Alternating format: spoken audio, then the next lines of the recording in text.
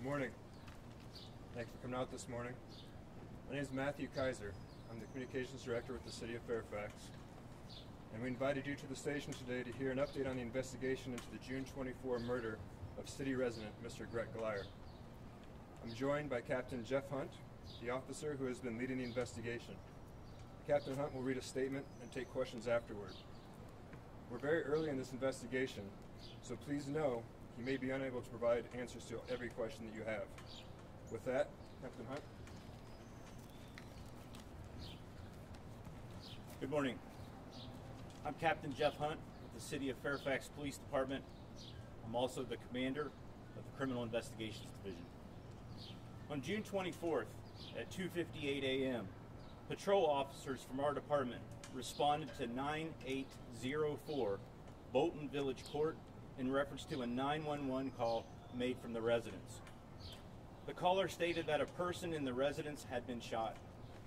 Within minutes, officers arrived at the scene and rushed into the residence to find Mr. Gret Glyer deceased in a bedroom. Officers were able to get Mr. Glyer's wife and children safely out of the house as they continued to look for the suspect.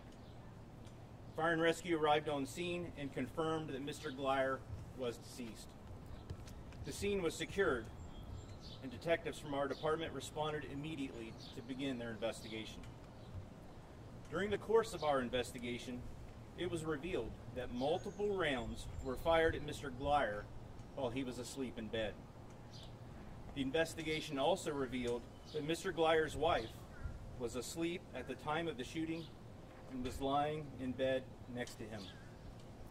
Mr. Glyer's body was eventually transported to the medical examiner's office.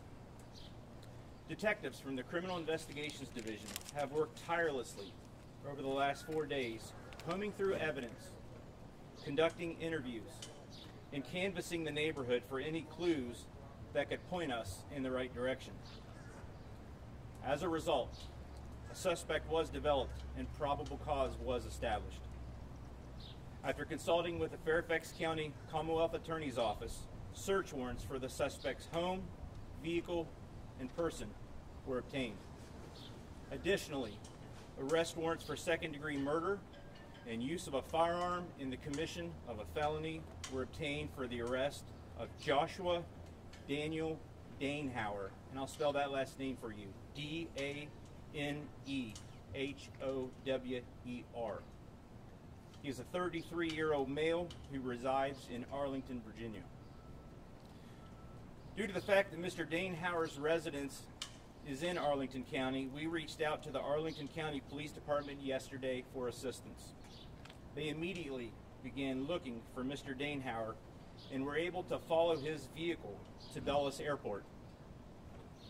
Officers from the Arlington County Police Department kept eyes on Mr. Danehower until police officers from the Met- Metropolitan Washington Airports Authority were able to take Mr. Danehower into custody without incident. He is currently being held in the Fairfax County Adult Detention Center without bond. Mr. Danehower worked at Dulles Airport and was headed to work at the time he was apprehended. Last night, with the assistance of the Arlington County Police Department, a search warrant was executed at Mr. Danehower's residence after he was taken into custody at Dulles Airport. Our investigation revealed that Mr. Danehower was an acquaintance of the family. At this time, we have no reason to believe that Mr. Danehower was colluding with anyone, and it appears that he acted alone in the murder of Mr. Glyer. We are confident that there are no known threats to our community at this time. We would like to extend our condolences to Mr. Glyer's wife, his children, and his family during this very tragic period. We would also ask that you respect their privacy while they go through this very difficult time. We would like to thank everyone who came forward in this case to provide us with information. This case was a great example of what a police department and the community can do when they work together.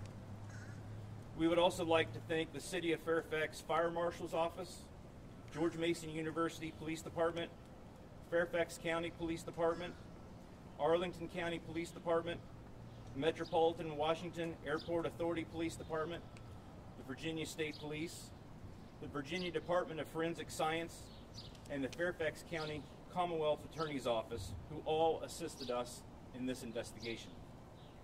At this time, I will take a few questions, but please understand that I will not be any, answering any questions about any evidence we have obtained, nor will we comment on anything that, will, that would jeopardize the judicial process.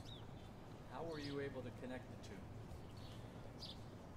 So we had uh, we we conducted interviews, and someone came forward and told us that we should look to Mr. Danehower as a possible suspect in this case, and that's all I can comment on. Is it financial related? Can't comment on any of that. What can you say about motive at this time? We're still looking into that. We're very early into this investigation, so there's still a lot of things we're looking into, and that will take some time. Can you talk about the relationship that the suspect had with the family? I, the only thing I can say at this time that we know that it, he was an acquaintance, and other than that, we, we don't have any further comment. We We're still looking into all possibilities. Can you say what his response or reaction was to his arrest?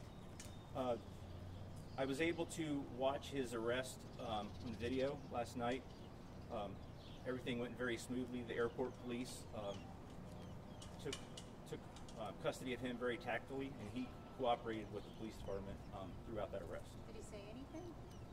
I don't have any I don't have any information on that yet. Does he work at FedEx? He does. That, and Question was, does he work at FedEx at the, at the airport? Yes. we understand he was asleep or may have been lying down in the back of the car when he was arrested. Why is that? It appears that he might have just been sitting in his vehicle waiting for his time to go into work and was resting, possibly. We don't know that yet. So my understanding is there's a connection though with this church, that there's some kind of a church connection here. What can you tell us about that? The question was, is there some kind of connection with the church? We're still looking into all those possibilities this time, and we don't have any further comments on that.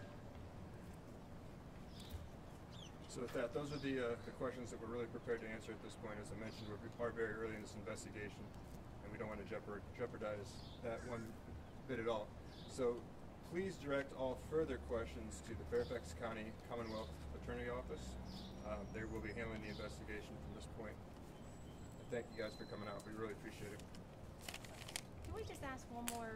The, the way that this homicide happened, you said that the husband and wife were in their bed sleeping. What are your thoughts or reaction to the way that this occurred? We're still looking into uh, all possibilities as to why this occurred. Thank you.